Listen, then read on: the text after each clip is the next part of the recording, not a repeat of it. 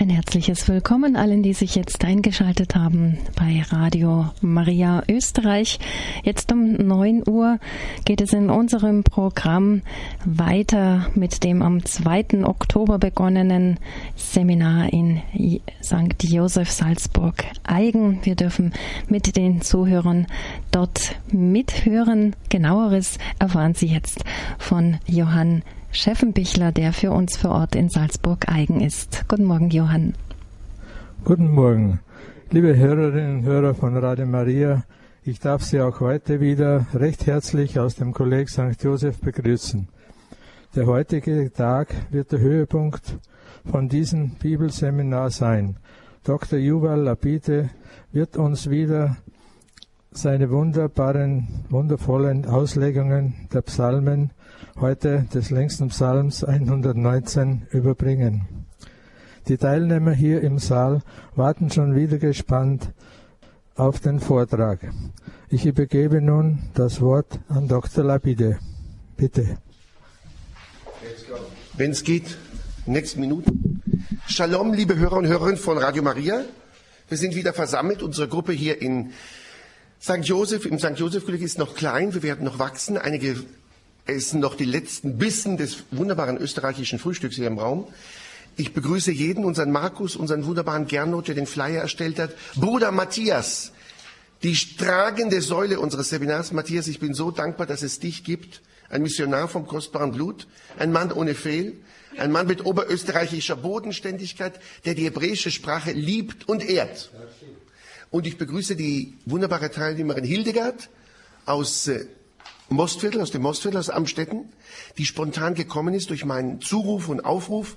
Danke, dass Sie gekommen sind. Und ich begrüße einen wunderbaren Gymnasialdirektor aus der Weltstadt mit Herz, Herrn Peter Schwarze, der speziell gestern angereist ist, sich rausgerissen hat aus der Verantwortung für 1000 Schüler in München-Schwabing, weil er spürt, dass die jüdischen Wurzeln seine Seele nähren. Ich danke Ihnen, ich danke dir, Peter. Und Dr. Jasna Blumenkron, die kennen schon einige Hörer und Hörerinnen, eine langjährige Streiterin, Mitstreiterin, Mitwirkerin. Danke, dass du zu relativ früher Stunde auch da bist. Ja, liebe Hörerinnen und Hörer zu Hause, heute haben wir einen Psalm, der alles zusammenfassen wird, was wir bislang lernten. Insofern steht er in Verbindung mit gestern Abend, mit allen Tagen und Abenden, Psalm 119, der längste Psalm, 176 Verse. Lieber Gernot, wir werden natürlich nicht alle besprechen, aber wir werden versuchen, heute Vormittag bis 12 Uhr, liebe Freunde und Freundinnen in Österreich, den Geist, den wunderbaren Geist dieses Psalms zu erarbeiten. Lassen Sie uns ein bisschen rekapitulieren, was wir bislang in der Woche gemacht haben. Vielleicht machen wir es so. Ich hoffe, dass das, Johann, für dich in Ordnung ist. Wenn im Moment eine Schweigezeit ist, dann würde ich nämlich die Teilnehmer bitten, in wenigen Worten, insbesondere Gernot, unseren Peter, unseren Markus und unsere Jasna Blumenkron, in ein paar Worten schriftlich, schriftlich, in Ruhe zusammenzufassen, Einfach stichwortartig, was haben wir bislang erarbeitet aus dem Samen? Einfach ein paar Stichworte, den 119 wird ganz viel davon aufgreifen. Dass Sie sich, bevor wir in dieses Meer von 119 eintauchen, vielleicht Hildegard Sie auch, Sie haben ja einiges am Radio gehört, einfach in ein paar Worten zusammenfassen, was thematisiert ein Psalm? Was bewegt den Psalmist in wenigen Worten?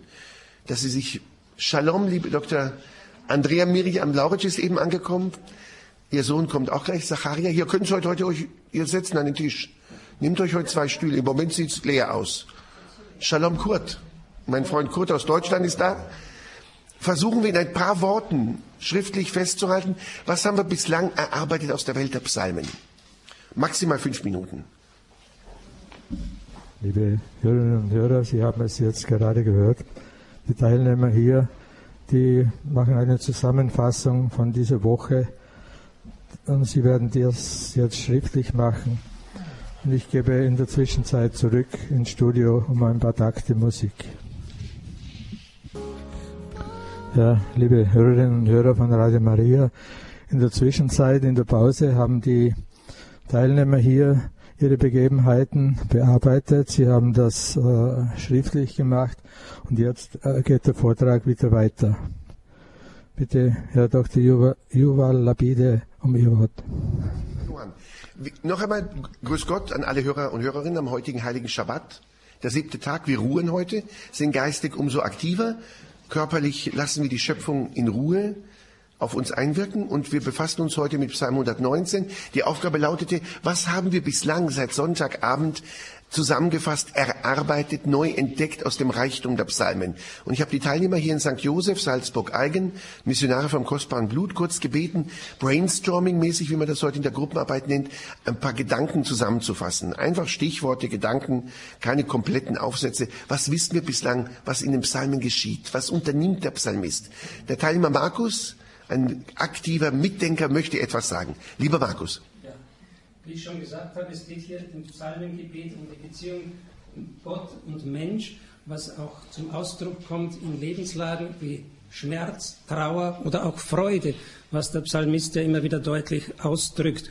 Und für mich ist das Psalmengebet selber auch eine Bestärkung. Mhm. Es hilft mir es persönlich, wenn ich zum Beispiel in Schwierigkeiten bin oder ich mich über irgendetwas freue. Insofern ist es auch eine heilsame Erfahrung, diesen Psalmenweg zu gehen, insbesondere durch die Interpretation durch deine Worte. Danke, wunderbarer Markus. Spontan, wer möchte noch was ergänzen? Was ist ihm, ihr klar geworden seit Sonntagabend? Ich sage das bewusst als kleine Aufgabe, damit wir nicht sofort in 119, dem Magnum Opus der Psalmen hineinspringen, sondern bevor man in den Ozean springt, sollte man erstmal zu schwimmen üben in kleinen Gewässern, in kleinen äh, Seen, Teichen. Und das wollte ich zusammenfassen. Was ist uns, lieber Hartmut, du Glanz aus München, Giesing, was ist uns klar geworden? Was nehmen wir mit, bevor ja, wir heute in den Ozean eintauchen?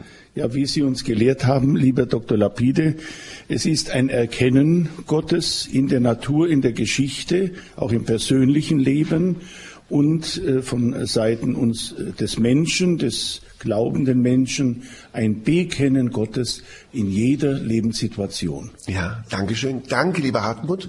Möchte noch jemand ergänzen? Gernot, Ulrike möchte noch was sagen.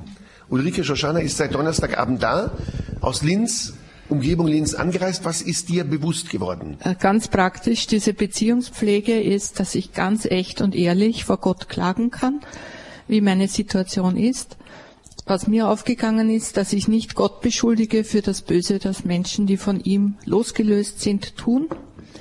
Und was mir noch aufgefallen ist, dass immer ein Durchbruch geschieht, also nicht nur in dem einen Psalm, den wir da gelesen haben, sondern auch in vielen anderen, äh, bis zu der, dem Blick hin, dass Gott helfen wird, dass Gott retten wird, dass Gott heilen wird.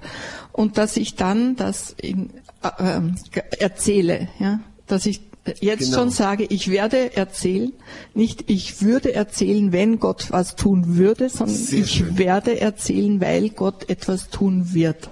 Danke. Frau Blumengrund, nicht. Okay, wer möchte noch etwas ergänzen? Eine, genau, der Gernot, unser Teilnehmer Gernot und dann unser Gymnasialdirektor, den ich seit knapp einer Woche ins Herz geschlossen habe. Ich bin so dankbar, dass Sie angereist sind gestern nach dem Schulstress. Erst Gernot und dann Peter Schwarze. Ich habe mir erlaubt, ein Gebet fast zu machen über diese Sache, weil das ist ja ganz was Wichtiges. Ich muss ja, sagen, das äh, Wort Gottes Shalom. Ja. zu lesen und dass ich es lesen kann, brauche ich den, die Ruach, den Heiligen Geist. Danke. Ja. Willst du es vorlesen? Äh, Gott, Heiliger Geist, du hast eine göttliche Offenbarung in der Heiligen Schrift durch deinen Diener David im Psalmen aufzeichnen lassen. Sehr schön.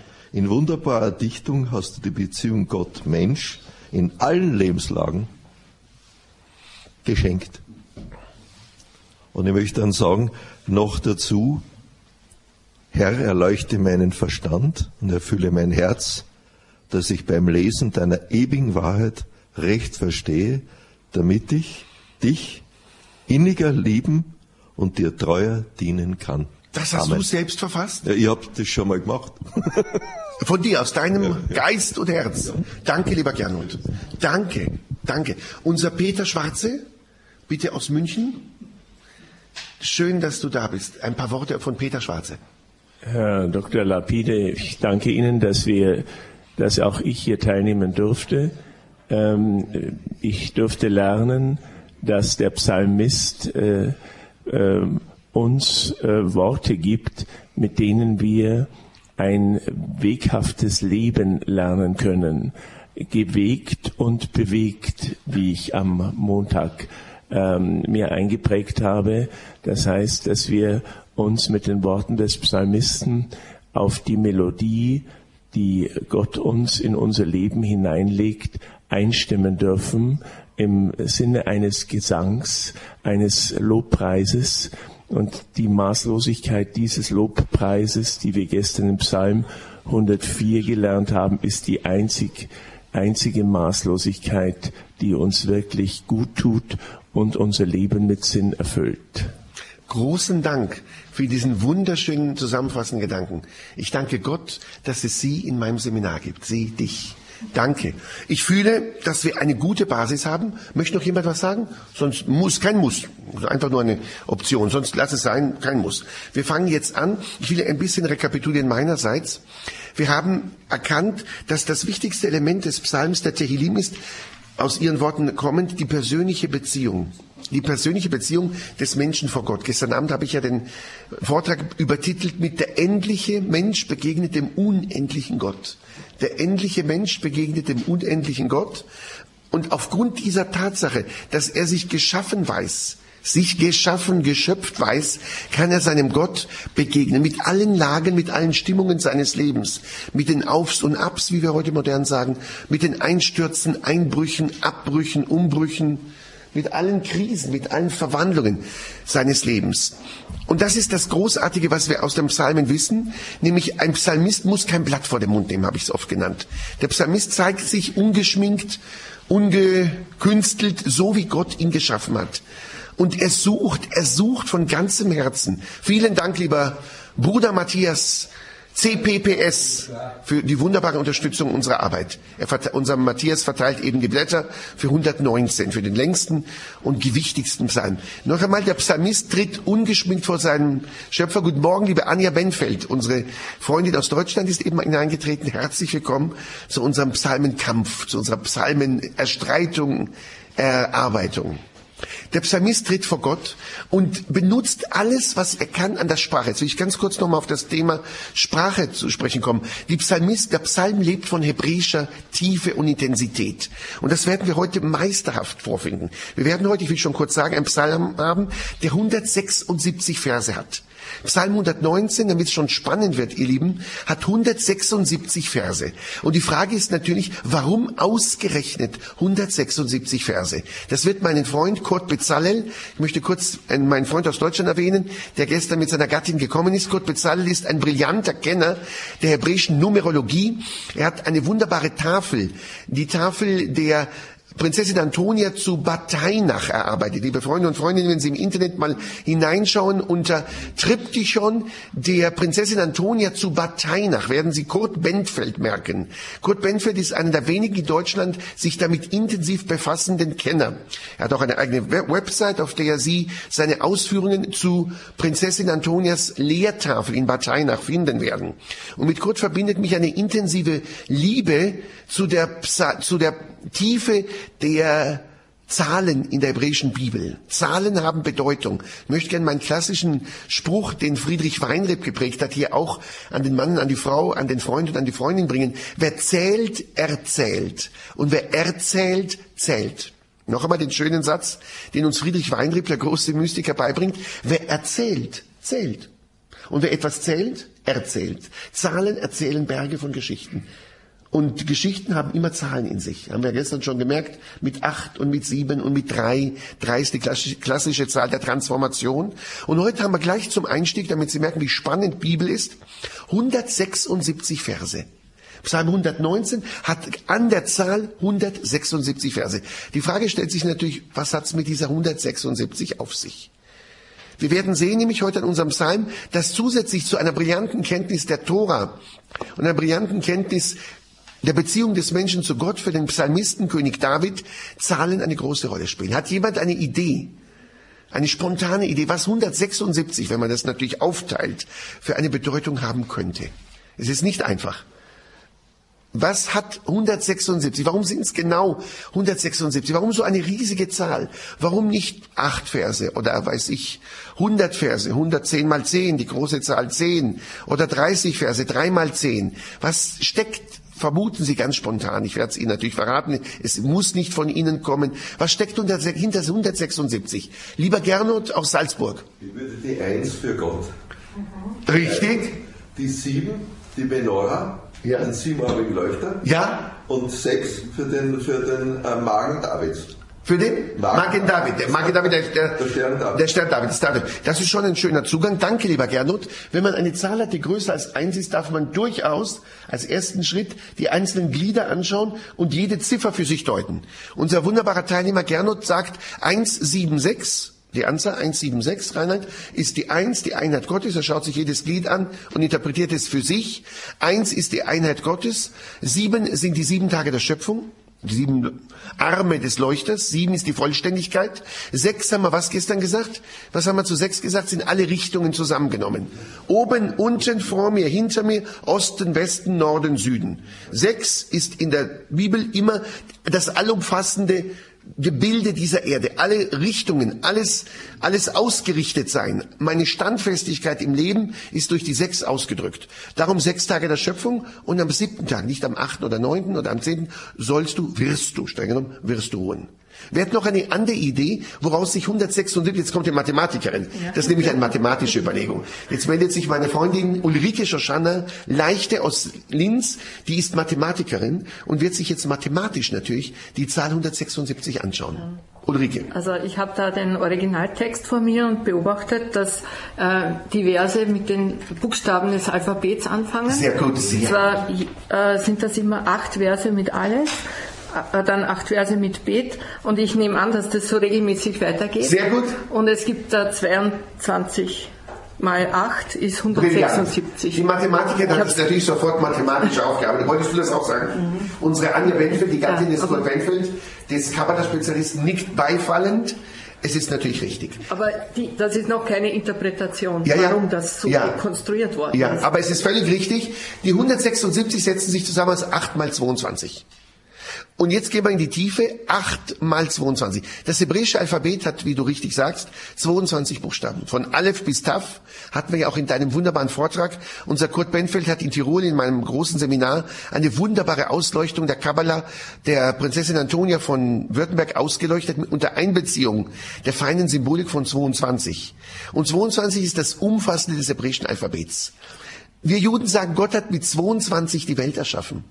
Mit der Kraft der 22, liebe Freunde und Freundinnen in Österreich, daheim und hier, hat Gott die Welt erschaffen. Denn es steht ja, Gott sprach und es wird. Gott sprach und es wurde, Gott sprach und es entsteht. Und wenn Gott spricht, sagen wir Juden, spricht er nicht Oberösterreichisch, nicht Ö- Niederösterreichisch, nicht einmal Brasilianisch, Portugiesisch, was mein Bruder Matthias ja perfekt kann, durch seine Missionstätigkeit in Brasilien Portugiesisch, sondern er spricht Hebräisch. Die Lingua Sacra, die Lingua Sacra ist und bleibt die hebräische Sprache. Und wenn in der Bibel steht, liebe Freunde und Freundinnen, Gott spricht, Yehi Or, weil Yehi Or, es wird Licht, dann wird Licht, oder es werden die Pflanzen und es werden die Tiere und es werden Sonne, Mond und Sterne, dann passiert es auf Hebräisch. Und Friedrich Weinreb, den ich sehr empfehle, übrigens Ihnen Hörerinnen und Hörer, Friedrich Weinreb, wie Sie hören, Weinreb, ohne E, ist ein Meister dieser Mystik des Judentums. Und er hat Bücher über Bücher geschrieben, in denen er auf Vorträgen basierend dieses brillante Wissen über die Zahlen darlegt. Mit 22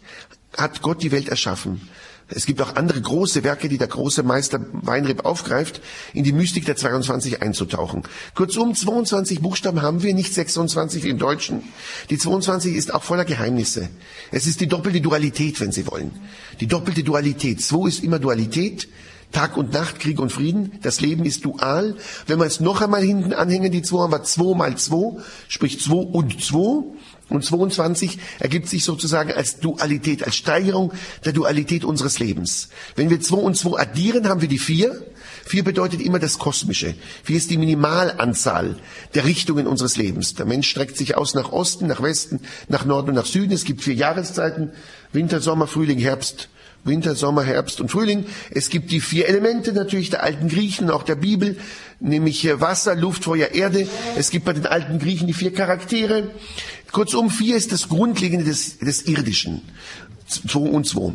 22 Buchstaben hat das Alphabet und mit 22 Buchstaben und deren Verästelungen, nämlich 1 und 2 und 3 und 4 und 5 bis 22 schafft Gott die Welt. Dann haben wir die 8. Der Psalmist schaut sich die Acht an. Was ist für die, ihn in der Acht bedeutsam, wenn Sie an Acht denken? Welches grundlegende Phänomen, welche Erscheinung aus dem Zweiten Testament fällt, springt Ihnen ins Auge? Auch aus dem Ersten? Wenn ich Acht sage, was springt Ihnen ins Auge, ins Ohr, ins Gefühl? Genau, wunderbar. Danke, die Anja Benfeld hat es wunderbar gesagt. Der achte Tag ist der Circumcisio Dei. Mein Vater sagte mir, dass in alten römisch-katholischen Kalendern noch eingetragen war im 16., 17. Jahrhundert. Das war der 1. Jänner. Der 1. Jänner. Circumcisio Dei. Der Tag der Besch Circumcisio, lateinisch, mit Caesar geschrieben. Circumcisio. Circumcisio heißt die Beschneidung, die Umschneidung. Da wurde unser Herr, sprich Jesus Christus, beschnitten. Das war in der katholischen Kirche ein Feiertag. Circumcisio mit C am Anfang und C in der Mitte.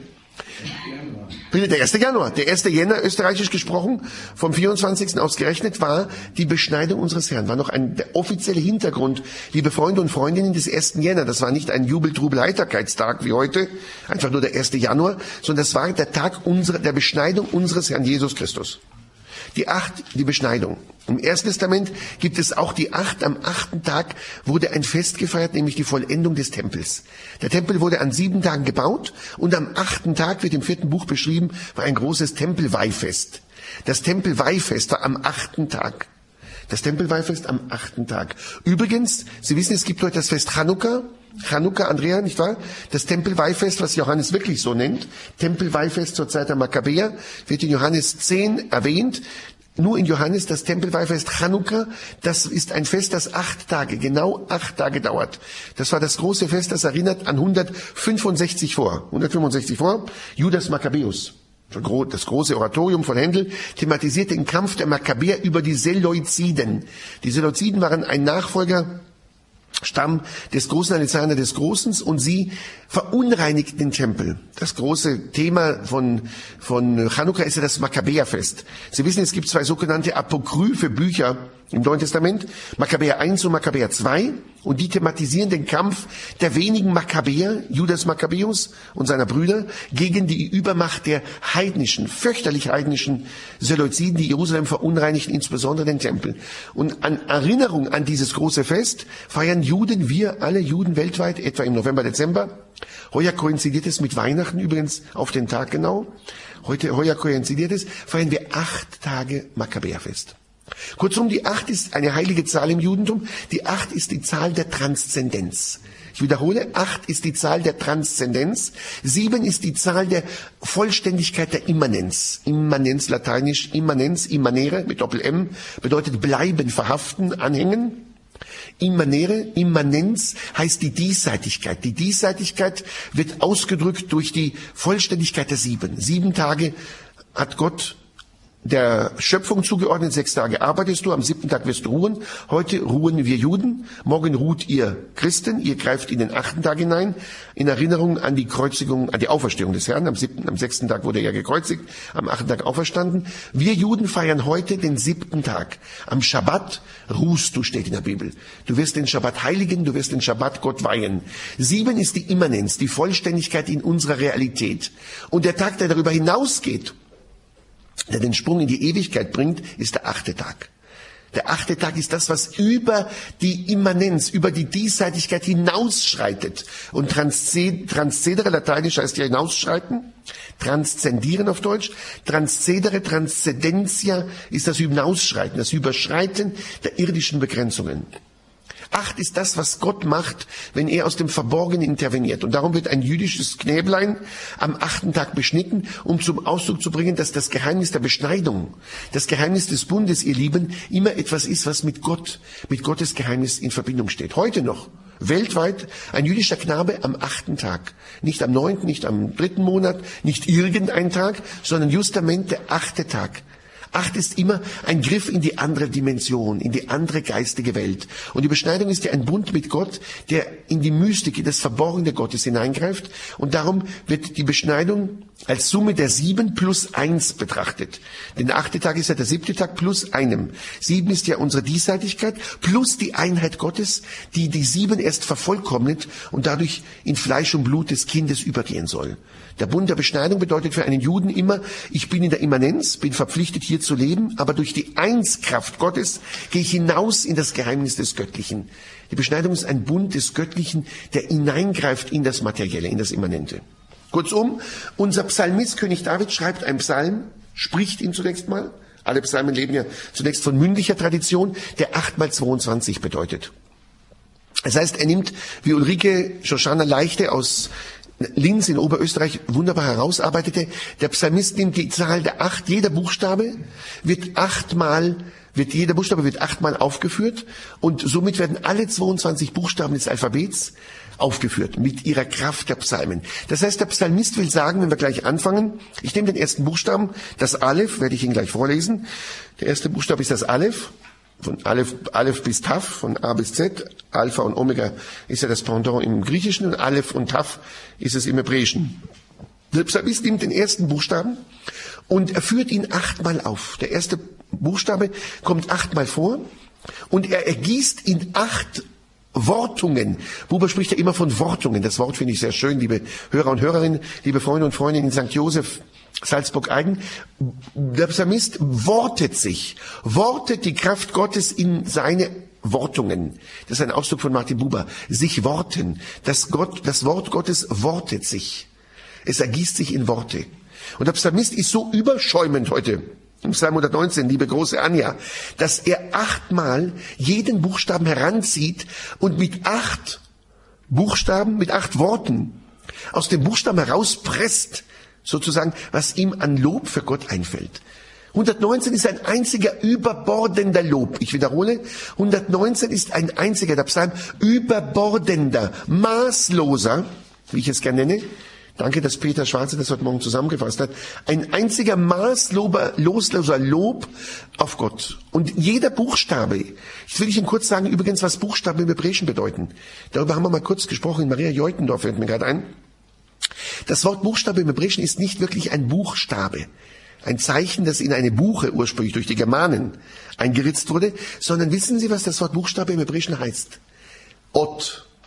Ein Ot ist ein Zeichen. Ot, Aleph, Vav, Taf im Hebräischen, Aleph, Vav, Taf, OT transkribiert, heißt Zeichen. Ist ein Zeichen. Für den Hebräer sind alle 22 sogenannten Buchstaben Zeichen des Lebens. Ja, aber auch Zeichen, auch darüber hinaus. Bruder Matthias, nicht nur Schriftzeichen, sondern Zeichen des Lebens. Jeder Buchstabe ist ein Zeichen des Lebens. Sie wissen, der Sabbat wird ein Ort genannt. Unser heutiger Schabbat, den Jesus natürlich auch feierte, Maria feierte, Johannes der Täufer, alle ist ein Bundeszeichen. Und jetzt wird es immer spannender, liebe Hörer und Hörer, liebe Freunde und Freundinnen. Buchstaben sind Zeichen des Göttlichen in unserer Immanenz. Damit Sie merken, wie spannend es ist. Und Friedrich Weinreb hat ein Buch geschrieben, das heißt Zahl, Zeichen, Wort. Zahl, Zeichen, Wort, das empfehle ich Ihnen von Herzen. Holen sich das in einer Buchhandlung in Österreich gleich am Montag früh. Ich empfehle es von Herzen. Zahl, Zeichen, Wort. Die innere Struktur der hebräischen Buchstaben. Die innere Struktur der hebräischen Buchstaben gibt es in jeder Buchhandlung. In Linz, in Wien, in äh, Innsbruck. Holen sich das Buch. Zahl, Zeichen, Wort. Die innere geheime Struktur der hebräischen Zeichen sprich Buchstaben. Und jeden Buchstaben schaut sich Friedrich Weinreb an als ein Geheimnis Gottes in unserer materiellen Welt. Dazu habe ich leider keine Zeit. Ich würde es gerne mit Ihnen sofort besprechen, aber dann sind wir nicht mal übermorgen fertig, sondern ich will es nur kurz anreißen. Jeder Buchstabe, jedes Zeichen ist ein Zeichen, ein Hinweis Gottes aus dem Verborgenen, was Gott mit dieser Welt vorhat. Und Friedrich Weinreb zeigt jedes Zeichen, jedes Aleph, jedes Bett, jedes Gimmel, was es bedeutet, wie die Struktur des Buchstaben aussieht. Er malt jeden Buchstaben auf in seinem Buch und zeigt, was sagt uns die Anatomie des Streifen, des Buchstabens über Gottes Vorhaben mit unserer Welt. Und wenn Sie alle 22 Zeichen, Geheimnisse Gottes gelesen und studiert haben und selbst aufzeichnen können, haben Sie verstanden, was Gott mit dieser Welt vorhat. Es ist gigantisch, wer das darstellt. Gott Benford nickt, Gott Benford kennt das, mein Freund. Jedes Zeichen ist ein Abenteuer für sich. Und darum empfehle ich von Herzen, dieses zu studieren. Und König David weiß ja darum. Wir Juden kennen seit Jahrhunderten die innere Sekunde, die innere Anatomie dieser Buchstaben. Wir wissen, was ein Aleph bedeutet. Es ist nicht nur einfach was Hingeschriebenes, mit dem man sich kommuniziert, sondern das Aleph birgt durch seine drei Zeichen, die Schriftzeichen, die das Aleph bilden, ein Geheimnis, das wir uns heute ersparen, weil die Zeit nicht reicht. Aber jeder Buchstabe, jedes Zeichen ist ein Geheimnis Gottes über die Art, in der Gott die Welt erschaffen hat. Denn mit den Buchstaben hat er die Welt erschaffen. Und noch einmal, der Psalmist nimmt ja jedes Zeichen und reiht es achtmal. Achtmal kommt der Buchstabe alle vor. Achtmal ergießt er in das alle, wir werden es gleich hören, seine Wortungen. Jedes Wort wird achtmal ausgedrückt. Das Bett achtmal, das Gimmel achtmal. Und so haben wir 22 mal acht, weil der Psalmist sagt, wenn ich Gott begegne, will ich ihm zurückgeben. Ich will ihm das zurückgeben, was er mir gegeben hat durch die Kraft der 22 Zeichen. Ich wiederhole, durch die Kraft der 22 ist die Welt entstanden. Und der Psalmist gibt an Gott etwas zurück, was er ihm in sein Herz und in die Schöpfung gegeben hat. Jeder Buchstabe ist ja ein Schöpfungspaket. Und der Psalmist sagt, ich möchte Gott so viel geben, so viel Anerkennung, so viel Dank geben, dass er sagt, ich setze mich hin und predige, zunächst war es eine Predigt, achtmal jeder Buchstabe achtmal will ich mit der Kraft der Acht und er zieht alle Register, er benutzt die Feinheiten der hebräischen Sprache. Und ich möchte, dass wir nachher das mal probieren. Wir werden das mal probieren. Das ist nicht einfach. Wir werden es mal spaßhalber probieren mit dem Buchstaben A. Mit dem deutschen Buchstaben A hintereinander mal acht gespannte, anspruchsvolle Wortungen auszudrücken, mit denen ich Gott sage, du bist so groß, du hast mir so viel gegeben. Du bist der Meister aller Meister. Und ich drücke das mit A aus. Und Sie werden merken, es ist nicht einfach. Sie müssen acht Sätze bilden, die alle mit A anfangen. Machen Sie das mal, das ist keine Kinderspiel. Und dann bitte acht Sätze, die mit B anfangen. Und dann acht Sätze, die mit Gimmel anfangen. Und das bitte bis zum letzten Buchstaben. Und jeder Satz ist so anspruchsvoll wie der andere, nicht einfach nur A, A, A, A, A, sondern anspruchsvolle, gehaltvolle Sätze. Das ist eine Leistung. Das ist eine kardiologische Leistung, nenne ich das ja. Kardiologisch. Warum kardiologisch? Weil das Herz arbeitet. Sie erinnern sich an meinen Lieblingssatz von Pascal? Le cœur sans Dieu, c'est le cœur qui sent Dieu, non la raison. Gestern Anja, wir lieben beide Französisch, Frau Benfeld und ich. C'est le cœur qui sent Dieu, non la raison. Es ist das Herz, das Gott erlebt, nicht der Verstand. On ne vient bien qu'avec le cœur. L'essentiel est invisible pour les yeux. Antoine de Saint-Exupéry, es ist das Herz, das Gott merkt. Mein Herz, mit dem Herz spürst du alles, nicht mit dem Verstand. Das Wesentliche bleibt für die Augen unsichtbar. Kurt Benfeld, du wolltest was sagen. Ja, ich wollte vorher eigentlich nur kurz andeuten, dass die hebräischen Buchstaben heute vergleichbar sind mit einem Piktogramm, das uns eine ganze Geschichte erzählt. Wenn ich ein Stoppschild an der Straße stehe, dann ist es ein Piktogramm und es erzählt mir die Geschichte, was passiert, wenn ich über dieses Stoppschild hinwegfahre. Sehr schön. So erzählt jeder einzelne hebräische Buchstabe seine eigene Geschichte. Dankeschön, Dankeschön. Haben, wunderbar. Danke für den wertvollen Beitrag. Jeder Buchstabe ist eine, eine, eine Reise, eine Reise in das Universum, wenn Sie notieren wollen. Jeder Buchstabe, jeder der 22 Zeichen, im Sinn von Zeichen, Abzeichen des Göttlichen. Jeder Buchstabe ist ein, ein Geheimnis Gottes. Wir werden es ja gleich erarbeiten, wenn wir das Aleph anschauen. Sie werden merken, wie König David sich inspirieren lässt von Gott. Er arbeitet ja kardiologisch, theologisch, kardiologisch, theologisch, nicht ratiologisch. Und Sie werden es gleich beim Aleph merken, wie gigantisch er wirklich eintaucht in das Geheimnis des Lebens. Wenn wir die 22 Buchstaben verstehen, verstehen wir etwas, ein bisschen von den Geheimnissen, von der geheimen Schöpferkraft Gottes in dieser unserer materiellen Welt. Sie wollten was sagen? Okay. Ich schlage vor, wir fangen an. Wir, genau, wir haben hier die drei Blätter. Unser Matthias, CPPS, ein Kämpfer für den Herrn par excellence. Katek Sochen, hat uns die drei Blätter abgezogen. Sie haben drei Blätter. Keine drei Blätter? Eins nur eins, gut, erst mal eins. Und dann wird Matthias, die Gabe Gottes, Matanja, die beiden weiteren Blätter verteilen. Ich möchte bitten Gernot, Gernot, der gestandene Salzburger, mein Freund mit Herz und Hirn, wird uns die ersten acht Verse vorlesen. Ich habe natürlich wieder Martin Buber, nur dass Sie wissen, meine Freunde und Freundinnen, liebe Hörer zu Hause, ich habe Martin Buber wieder benutzt, immer Martin Buber, er ist einfach der große Meister. Und in seiner Verdeutschung wird er uns nun darlegen, wie die ersten acht Verse. Allein dafür braucht man gut eine Stunde. Acht Verse, feinstes Hebräisch, in gutes, so gut wie möglich erscheinendes Deutsch übertragen durch Martin Buber. Lieber Gernot, mein Salzburger Mozartkugel, du bist meine spirituelle Mozartkugel. Danke. Danke. Was? Mit, das Gold ist so schön drum. Das, kleine, das Gold, das kleine ist schön. Liebe spirituelle Mozartkugel. Öffne dich. Öffne dich. O Glück ihrer, die schlichten Weg sind, die in seiner Weisung gehen. O Glück ihrer, die seine Zeugnisse wahren, die mit allem Herzen fragen nach ihm. Falsch haben sie durchaus nicht geübt. In seinen Wegen sind sie gegangen.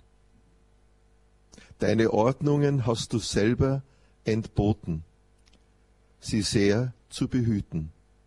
Ach, das gefestet seien meine Wege, zu hüten deine Gesetze. Dann werde ich nicht zu Schanden, wann ich blicke auf all deine Gebote. Ich danke dir in Herzensgeradheit, wann ich die Rechtsgeheiße lerne deiner Be Bewährung. Ich habe da über kleine Striche gemacht, damit Sie merken, wann acht Verse zu Ende sind. Ich habe jeweils den hebräischen Buchstaben auch dazu gemalt, dass Sie wissen, jeder Block, in dem das Aleph sich befindet, bis zum Strich, ist das entsprechende zusammengefasste zum Aleph. Hier haben wir den Aleph. Sie sehen, überall habe ich die hebräischen Buchstaben eingezeichnet auf Ihr Blatt. Danke, lieber Gernot. Na, der letzte. Ach, der letzte, Entschuldigung. Entschuldigung. Ja. Nein, nein, nein. Entschuldigung, du hast recht. Entschuldigung. Ich will deine Gesetze hüten. Verlass mich nimmer gar Genau, sehr. das ist nämlich der achte, da wo mein Strich ist. Danke. In meinem Eifer will ich schon hinwegpressen. Danke, du wunderbarer Freund meines Herzens. Achten Sie auf die Worte. Ich will es noch einmal vorlesen. Und ich werde die Anja bitten, damit was, das, jedes Wort ist kostbar. Jedes Wort ist eine Zusammenfassung, eine geballte Packung von Intensität. Anja, Anja Benfeld, sei so lieb noch mal ganz gefühlvoll. Bitte noch die acht Verse lesen. Noch einmal. Oh Glück. Wo Glück ihrer, die schlichten Weg sind, in seiner Weisung gehen.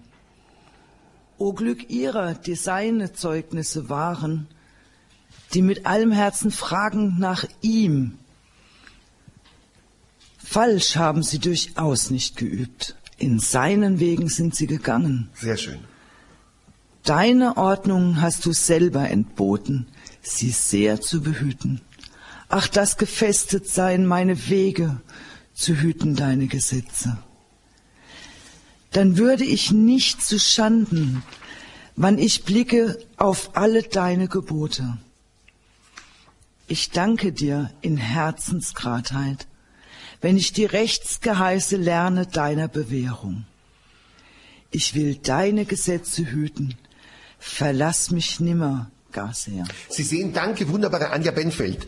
Sie sehen, durch unterschiedliche Intonation kann man dem Ganzen, nichts ist falsch, deswegen Gernot, durch unterschiedliche Intonation kann man den, die tiefen Facetten, den anderen Inhalt herausholen. Ich möchte, weil ich das gerade so schön fand, jemand anderen bitten, das durch seine eigene Intonation anders zu gewichten. Wer traut sich zu? Wunderbar Anja, wunderbar Gernot, meine Mozart-Kugel, meine strahlende, mich beglückende, spirituelle Gabe Gottes im schönen Salzburg der Mozartstadt. Ich bin ein Mozart-Fan ohnegleichen. Ich liebe Mozart. Kein Abend vergeht, an dem ich nicht in die Nacht gehe mit der kleinen Nachtmusik. Dann ist die eine dein Mon Chéri. Sie, genau, genau, genau, genau. Anja ist mein Mon Chéri. Um bei Deutschen. Aber ich muss euch eins sagen. Jetzt hast du was gesagt. Jetzt hat der, jetzt hat der Oberösterreicher was, was Hartes gesagt. Mon Chéri kann meiner Mozartkugel, und Frau Dr. Blumengrund versorgt mich immer mit Mozartkugeln aus Mozartstadt, kann der Mozartkugel nicht das Wasser, nicht den Alkohol reichen. Genau, Mozartkugeln aus der Mozartstadt. Aus, von welcher Firma heißt das hier? Mira, Mirabell. Mozartkugeln von Mirabell sind unvergleichlich. Da kann kein Moscherie aus unserem Deutschland konkurrieren. Lieber, lieber Freund Matthias, eure Mozartkugeln und eure Sachatot, es muss es aussprechen, sind bahnbrechend und gaumenerobernd. Und dann noch Zaunerstollen dazu. Der kommt noch, der muss noch kommen. Der muss noch kommen, den kenne ich noch nicht. Der Zauberstuhl. Ja, ja, ja. Liebe Freunde, ja, Moment, also, liebe Freunde, liebe Freundinnen, ein bisschen Humor gehört dazu. Ohne Humor, Reinhard, geht das Leben nicht. Ich wollten Sie vorlesen? Ich wollte jetzt noch einen Teilnehmer bitten. Sie haben gemerkt, Hartmut, durch unterschiedliche Intonationen kann man unterschiedliche Aspekte herauslesen. Darum bin ich so glücklich, dass Gernot und Anja unterschiedlich intoniert haben. Wer möchte seine Variante probieren? Andere Aspekte herausbetonen. Lieber Freund aus äh, Baden bei Wien. Wir haben einen Badener bei Wien. Mein Freund Franz Xaver aus Baden bei Wien. Aus dem Kurort Baden bei Wien. Lesen Sie es mal mit Ihrer Intonation vor. Der 19. Neu unter die ersten 119. Verse. Psalm. O Glück ihrer, die schlichten Wege sind, die in seiner Weisung gehen. O Glück ihrer, die seine Zeugnisse waren, die mit allem Herzen fragen nach ihm. Falsch haben sie durchaus nicht geübt. In seinen Wegen sind sie gegangen, Deine Ordnungen hast du selber entboten, sie sehr zu behüten. Ach, das gefestet seien meine Wege, zu hüten deine Gesetze. Dann würde ich nicht zu Schande, wenn ich blicke auf all deine Gebote. Ich danke dir in Herzensgeradheit, wenn ich die Rechtsgeheiße lerne deiner Bewährung. Ich, ich will deine Gesetze hüten. Verlass mich nimmer. Danke, mein Freund aus Baden bei Wien, aus der großen Kurstadt bei Wien. Jetzt will ich Ihnen mal meine Version vorlesen. Sie sehen, da steckt so viel, es ist alles richtig. Und das ist ja das Große an den Psalmen, an den Tehillim. Es soll in unser Herz kommen. Es gibt im Talmud einen großen Satz. Ein großes Diktum aus dem Psalm heißt, Worte, Wortungen, die von Herzen, nicht vom Verstand, die aus der tiefsten Quelle unseres Seins kommen, Worte, die aus dem Herzen entspringen, ihr Lieben, gehen in das Herz hinein. Kardiologie berührt Kardiologie. Herz berührt Herz. Das Herz hat Fähigkeit, die der Verstand nie und nimmer, nie und nimmer besitzen kann. Es kommt aus der tiefsten Quelle. Und darum noch einmal der Satz aus Deuteronomium 6,4, Matthias Elohecha bechol levavcha. Du sollst deinen Herrn lieben, beziehungsweise du wirst ihn lieben, mit ganzem Herzen. Erst kommt das Herz, dann und. Dann mit ganzer Kraft und ganzer Hingabe. Das Credo des Judentums darf ich wiederholen für unsere Hörer und Hörerinnen in Austria. In Felix Austria, du Felix Austria Nube, heißt, Ve'ahafta et Adonai Elohecha bechol levavcha. Du wirst deinen Herrn, deinen Gott, deinen Schöpfer mit ganzem Herzen, nicht mit ganzem Verstand lieben. Mit ganzem Herzen. Und da kommt ihm die Geschichte, wenn mich mein Herz eine. Man kann sich natürlich fragen, was heißt ganzes Herz? Gibt es auch ein halbes Herz? Es gibt auch ein halbes Herz. Man sagt ja im Deutschen, du hast es halbherzig gemacht. Merkt, jetzt wird Ihnen klar, was man, wie reich das Herz ist in der deutschen Sprache. Du hast halbherzig gearbeitet, Reinhard. Du bist so halbherzig, sagt man im Deutschen. Und das Englische hat ein wunderschönes Wort, Wholeheartedness. Das gibt's nur im Englischen. Wholeheartedness, Ganzherzigkeit müsste ich übersetzen. Learning by heart, danke du Meister. Auf Englisch, auf Englisch sagt man, wenn man sagen will, ich habe etwas auswendig gelernt, Andrea Lauritsch, du wunderbare Klagenfurterin. I learn it by heart, ich habe es mit Herzen gelernt, auch auf Französisch. Apprendre par cœur. Wir Deutschen haben einen Fadenausdruck. Ich habe es auswendig gelernt, das ist so gar nichts, gar nichts dahinter. Der Engländer hat uns was voraus, liebe Freunde in Österreich. I learned it by heart. J'ai apprendu toutes les leçons par cœur. Ich habe es hier drin gelernt. Das ist so schön an anderen Sprachen. Der Franzose lernt etwas im Herzen. Das ist auswendig lernen. Und der Engländer genauso. Er lernt es im Herzen. Er lernt es nicht einfach auswendig nach außen. Und darum möchte ich betonen, der Engländer hat ein wunderschönes Wort. Wholeheartedness. Etwas ganzherzig tun. Um ihnen zu zeigen, dass es wirklich so etwas gibt wie halbherzig. Du hast etwas halbherzig gemacht. Du bist nicht mit ganzem Herzen dabei. Dein Herz schwingt dort und dort und dort. Du bist nicht bei der Sache. Und der Hebräer will, dass wir etwas ganzherzig tun oder gar nicht. Und darum ist das, was der Psalm macht, mit ganzem Herzen. Es ist wirklich sein ganzes Herz drin. Das ganze Herz steckt im Psalm drin. Nur jemand, ich will es kurz noch verstärken, nur jemand, der sein ganzes Herz, kol levavcha, mit ganzem Herzen, sagt der Psalm, sagt König 6,4, Deuteronomium. Wenn jemand sein ganzes Herz, wirklich sein Herzblut, sein Herzblut, Kurt, hineinlegt in diesen Psalm, dann entsteht so ein Meisterwerk und er hat es auch in die anderen Psalmen gelegt. Und darum wurden die Psalmen Weltliteratur. Weltliteratur. Weil das Herz spürt, da ist ein Mensch, der sein ganzes Herz hineingelegt hat in dieses Magnum Opus. Bitte, Frau Anja, Anja Benfeld. Aber im Herzen ist der Verstand. Aber welcher Verstand? Vorsicht, welcher? Vorsicht. Welcher Verstand steckt im Herzen? Das ist die Weisheit Gottes. Nicht a Quadrat plus b Quadrat plus c Quadrat. Vorsicht. Das ist auch Weisheit Gottes. Aber das ist etwas Besonderes. Das ist ein kleiner Ableger. Der Stamm des Herzens ist die Weisheit. Gib mir ein hörendes Herz. Und ich gebe dir Weisheit, sagt König, sagt Gott zu König Salomo. A Quadrat plus B Quadrat gleich C Quadrat. Oder weiß ich, wer ist diese mathematische Formel von Einstein mit E, e gleich Q Quadrat, E gleich irgendwas dran. Das ist nackter Verstand. Das ist sozusagen ein kleiner Ast, liebe Anja Benfeld, ein kleiner Ast der Weisheit. Die Weisheit des Herzens ist unendlich tiefer. ist unendlich größer. Davon ist dieses a Quadrat und e gleich mc Quadrat ein kleiner Tropfen. Ein kleiner Tropfen. Aber ich möchte jetzt nicht, dass wir uns da verlieren, sondern das Herz ist ein Ozean. Isaac Newton sagte etwas Großes, möchte ich Ihnen auch schenken. Isaac Newton, der große Physiker aus England im 16. Jahrhundert, sagte einen großen Satz für dich und für uns alle. Was wir von Gott wissen, beziehungsweise was wir vom Leben wissen, logisch, E Quadrat, A Quadrat, Pythagoras, Hypotenusen, all die Geschichten aus Mathe und Physik, was wir von diesem Gott und von dieser Welt wissen, ist ein Tropfen. Was wir von Gott und der Welt nicht wissen, Anja, ist ein Ozean. Und das sagt ein Mathematiker ersten Ranges. Höhepunkt für heute.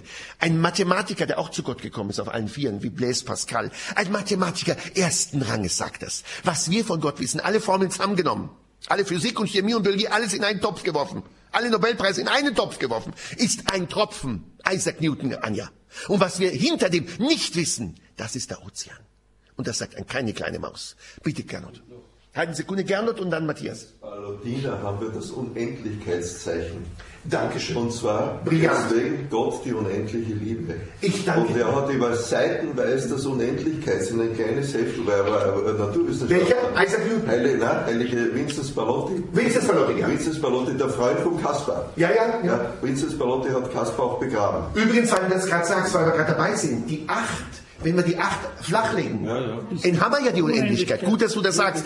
Noch einmal, liebe Hörer und Hörerinnen im schönen Österreich, liebe Freunde hier in Salzburg, in der Mozartstadt Salzburg, bitte, wenn wir die acht nehmen und sie flachlegen, ins Bett legen, dann liegt doch die Unendlichkeit. Das ist doch unser Thema heute. Danke. Unsere acht ist eben ein Sprung in die Unendlichkeit, in die Unbegrenztheit Gottes. Ich wiederhole, jeder Satz hat ja hier achtmal, wir haben ja eben acht Sätze gehört. Und wir werden jetzt 22 mal acht haben. Und wenn die acht nicht steht, sondern liegt, haben wir ja die Unendlichkeit. Das heißt, in der Acht, in der Anatomie der Acht, ist ja schon angedeutet der Sprung in die Unendlichkeit. Da steckt ja auch die Mathematik und das Zugeben der Mathematik, dass es etwas gibt, was weit über die reine Logik und der Mathematik hinausgeht. Bruder Matthias aus Brasilien. Ein musikalischer Beitrag, wir haben ein schönes Lied. Dein ist mein ganzes Herz. Mm. Dankeschön, Franz Lehar, das Land des Lächelns. Franz Lehar. Franz Lehar. Wir sind nicht begraben. Also das war ein großer Österreicher. Dein ist mein ganzes Herz, genau. Siehst du, wenn das Herz nicht ganz ist, ist es nicht wirklich Herz. Ich wiederhole für unsere Hörer. Wenn das Herz nicht wholehearted ist, Dankeschön, wenn das Herz nicht wholehearted ist, Anja, dann ist es nicht wirklich, und noch einmal, Sie können es aufschreiben, der Psalmist ist wirklich mit ganzem Herzen dabei. Und jetzt sage ich danke für unseren wunderbaren Oberösterreicher. Schreiben Sie auf, der Psalmist sagt auf Schritt und Tritt seinem Gott, dein ist mein ganzes Herz. Der sagt, da ist es nicht der Mann, der ist der der Frau. Der sagt in dem schönen in der Oper, das Land des Lächelns, kenne ich ja, liebe ich ja. Aber Sie können aufschreiben, Hartmut, schreiben Sie auf. Der Psalmist sagt, Andrea, liebe Andrea Miriam Lauritsch aus Klagenfurt in Kärnten, der Psalmist sagt auf Schritt und Tritt, Lecha eten, ich sag's mal auf Hebräisch, damit Sie es mal auf Hebräisch hören, ich übersetze es in Hebräisch, Lecha eten et kol libi. Das ist Hebräisch, das habe ich eben selbst komponiert, angeregt durch dich. Lecha etna et kol libi. Das wäre feinstes Hebräisch. Lecha etna et kol libi. Wollt ihr einmal mit mir sagen, Anja? Alle, Hebräisch, Anja. Lecha etna et kol libi. Alle. Lecha etna et kol libi. Anja allein noch einmal. Lecha etna et kol libi. Ich muss gerade, und das ist nämlich feinstes Hebräisch. Das hat mich dieser wunderbare Mann aus Oberösterreich und aus Brasilien und aus Salzburg angeregt. Das wäre genau das Thema der Psalmen. Die Psalmen sagen wirklich, ich gebe dir mein ganzes Herz. Und wenn wir die Psalmen wirklich mit Herz wahrnehmen, mit echtem Herz, mit deinem ganzen Herzen, Anja, dann spürst du, wie ein Mensch mit all seinen Schwächen, ist kein Heiliger, betone deutlich, David ist Mensch aus Fleisch und Blut, wie du und ich, und er hatte auch schwere Abstürze in seinem Leben. Schwere Vergehen, Batzeba, Bett, Bettgeschichte, die hätte er sich ersparen können. Und trotzdem ist er ein Mann, der zu Gott zurückkommt. Teshuva. Er kommt zurück und sagt, Gott, nimm mich an, ich habe versagt und ich möchte zu dir zurückkommen. Ich krieche auf allen Vieren, sagt er, und ich gebe dir mein ganzes Herz. Danke, lieber Freund. Das Credo der Psalmen ist, dein, o oh Gott, ist mein ganzes Herz. Dankeschön. Musik geht alles besser. Dankeschön. Richtig, Dankeschön. Das ist die Perle von Salzburg. Bruder Matthias. Schön, dass Sie meinen Gedanken so schnell aufgegriffen haben. Mein Herz vibriert. Mein Herz vibriert. Yes, ja. Lass weiter vibrieren. Bartmut, der Hirte von Gießen. Ja, da wird einem das Herz ganz warm und weit. Und das haben wir im Deutschen auch. Weitherzig, warmherzig. Warmherzigkeit ist warmherzig. Sie, übrigens, Sie wissen, dass kein Organ, kein Organ in der deutschen Sprache, auch in der englischen Sprache, so stark strapaziert wird wie das Herz. Mein Herz, du hast mein Herz. Mein Herz ist schwer. Das lastet auf meinem Herzen. Ich möchte dich herzen. Beherzigen musst du das, Anja, bitte. Bitte beherzige es. Mit dem Herzen sagt man. In Heidelberg verloren. Nicht wahr? Natürlich, ich komme aus Heidelberg. Ich wohne in der Nähe. Heidelberg bei, in der Kurpfalz. Und achten Sie darauf, du musst es beherzigen, nicht du musst es verstanden. Hast du das beherzigt? Ist es in dein Herz reingegangen oder nicht? Denn wenn es nur oben ist, taugt's nicht. Es musst es beherzigen. Bitte beherzige das. Und was wir hier machen, liebe Freunde und Freundinnen in Tu Felix Austria Nube, wir, be, wir beherzigen. Wir beherzigen. Und der Psalmist beherzigt seine Beziehung zu Gott. Auch ein Wortspiel, das Sie notieren können. Der Psalmist beherzigt, beherzigt seine Beziehung zu Gott. Denn ohne Herz kannst Gott nicht begegnen. Das sagen alle Großen. Und du zeigst uns dein Herz. Genau. Ich lege mein Herz preis. Ich offenbare dir mein Herz. Genau. Noch ein schön. Jesaja, staunen wird und weit werden dein Herz. Sehr schön. Sehr schön. Shalom. Da ist auch eine Perle. Eine Perle aus Salzburg ist gekommen. Shalom, lieber Johannes. Johannes ist der, ich muss es kurz sagen, der Chef von Haus Warden. Warden Wardenburg. Warden, Moment nochmal, Wartenburg. Wartenberg, Entschuldigung. Lieber Freund, ich bin dankbar. Johannes, der Gottbegnadete aus Haus Wartenberg, hat sich heute den Tag freigenommen, freigekämpft aus seinen familiären Verpflichtungen. Und ich bin dankbar und ich verspreche dir, du wirst heute reiche Gaben bekommen. Wir machen gerade Psalm 119. Hast du noch eine Kopie für ihn? So, hast du was noch für unseren Johannes? Ja.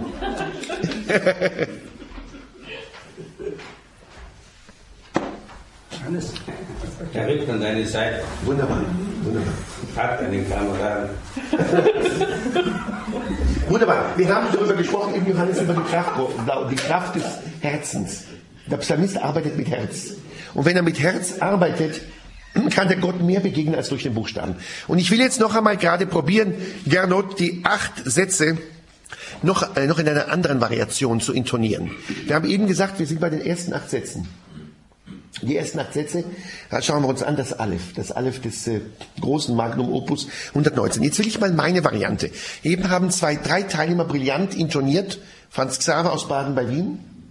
Dann hat äh, unser Gernot und wer war der Erste dran? Die Anja. Die Pfälzerin. Im weitesten Sinne eine wunderbare Dame aus der Pfalz. Und jetzt probiere ich mal meine Version. Wenn jede ist richtig, keine ist richtig oder falsch, ich will meine Anja. Die ersten acht Verse aus eins, aus äh, Psalm 119. Hören Sie mal zu. O Glück ihrer, die schlichten Wegs sind, die in seiner Weisung gehen. O Glück ihrer, die seine Zeugnisse wahren, die mit allem Herzen fragen nach ihm. Falsch haben sie durchaus nicht geübt. In seinen Wegen sind sie gegangen. Deine Ordnungen hast du selber entboten, sie sehr zu behüten. Ach, dass gefestet seien meine Wege, zu hüten deine Gesetze. Dann würde, sprich werde, streng genommen werde, werde ich nicht zu Schanden, wann ich blicke auf all deine Gebote. Ich danke dir. Ich danke dir in Herzensgeradheit. Da sind wir wieder beim Herzen. Das gerade Herz, das ist schön. Das ist die Vorstellung, dass auch das Herz gerade oder krumm sein kann. Ich danke dir in Herzensgeradheit. Wann ich die Rechtsgeheiße lerne deiner Bewährung. Ich will deine Gesetze hüten. So erlaube ich mir zu betonen, Andrea. Ich will deine Gesetze hüten. Verlass mich nimmer gar sehr. Wodurch, Entschuldigung, das sind wir schon zu Ende, ich würde gleich weitermachen. Genau, genau. Sie sehen, für mich ist nämlich was wichtig in meiner Intonation, die Ich-Du-Beziehung. Ich arbeite heraus und jeder darf es ja so intonieren, wie es für ihn stimmig ist. Es gibt kein falsch oder richtig. Für mich ist wichtig, was drückt der Psalm Hildegard aus Amstetten aus über Ich und Du. Für mich ist die Intonation auf, auf Ich und Du. Ich und Du. Ich bekomme von dir und ich gehe meine Wege, die du mir gibst. Das ist für mich die Botschaft, die mein Herz auslöst. Und jeder von Ihnen nimmt eben seine Herzensbotschaft. Anja. Ist das mal auf Hebräisch? Hier, kommt, kommt, kommt, kommt, kommt. Habe ich nicht vergessen. Das Hebräische kommt jetzt, habe ich nicht vergessen. Jetzt kommen Johannes die acht Verse auf Hebräisch. Aschreit mimei derech haholchim betorat Adonai. Vers 2. אשרי נוצרי עדותיו בכל לב, בכל לב ידרשוהו. vers 3, אף לא פעלו עוולה, בדרכיו הלכו. אף לא פעלו עוולה, בדרכיו הלכו. אתה ציווית פיקודיך לשמור מאוד. אך לי ייכונו דרכי לשמור חוקיך. אז לא אבוש בהביטי אל כל מצוותיך. עודך ביושר לבב, בלומדי משפטי צדקך.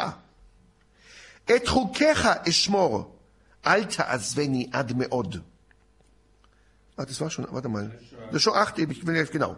Ne, das war die erste. Jeder Satz ist komprimiert, ich will es Ihnen kurz sagen, bevor wir nun in die Exegese einsteigen. Jeder Satz ist komprimiertes Hebräisch. Ich möchte es nochmal für unsere neuen Hörer und Hörerinnen in Salzburg und Welt, österreichweit sagen. Jeder Satz hier ist komprimiertestes Hebräisch. Es heißt, ist ja Poesie. Ich will es wiederholen, wenn Sie es notieren, Andrea. Liebe wunderbare Andrea, liebe wunderbaren Mitwirker und Mitstreiter und Mitbeherziger. Jeder Satz hier ist feinste Poesie. Andrea Lauritsch beschäftigt sich ja mit, wer ist da noch einmal der große Jude? Andrea? Moshe Ben Gavriel. Er hat ja ursprünglich Hebräisch ge- geschrieben. Ich, er konnte doch perfekt Hebräisch, Andrea. Er konnte doch sehr gut Ivrit. Er konnte ja wunderbar Hebräisch, ein Mann mit diesem Namen. Er war ja auch eine Zeit lang in Palästina, damals noch vor der Staatsgründung. Und er konnte hervorragendes Hebräisch. Hinter seinem Deutsch, das ich in den einigen Büchern, die mir Andrea Lauritz schenkte, rieche ich wunderbares Hebräisch. Er atmet die Sprache der Heiligen, des Heiligen Landes. Und ich kann Ihnen sagen, hier ist ebenfalls Poesie. Hier ist auch Poesie. So wie eben Andrea Lauritsch sich mit diesem Thema eines großen Dichters beschäftigt, den sie rehabilitiert, weil er lange Zeit verkannt war. So möchte ich Ihnen sagen, ich kann ja sowohl hebräische Prose als auch hebräische Poesie. Hier ist feinste Poesie. Die übrigen Bücher des Ersten Testaments sind ja Prosa. Wenn Sie die fünf Bücher Mose nehmen, das ist Prosa. Aber hier haben wir es mit Poesie, hochkonzentriert zu tun. Ich benutze ja gern das Wortspiel. Ein Gedicht heißt deshalb Gedicht, weil es gedichtet ist, verdichtet. Ein Gedicht ist dicht. Das, der Prosa ist nicht mehr ganz dicht. Wer Prosa liest, Prosa liest, ist nicht mehr ganz dicht. Denn das ist nicht gedichtet. Aber wer ein Gedicht liest, der ist ganz dicht. Der ist wirklich ganz dicht. Denn ein Gedicht verdichtet unglaublich. Dieses Gedicht verdichtet dermaßen intensiv die Gedanken eines beherzten Menschen. Das ist nicht zu überbieten. Und ich werde mit Ihnen nun herauspressen, was wir herauspressen können, damit Ihnen klar wird, was in diesem Psalm steckt.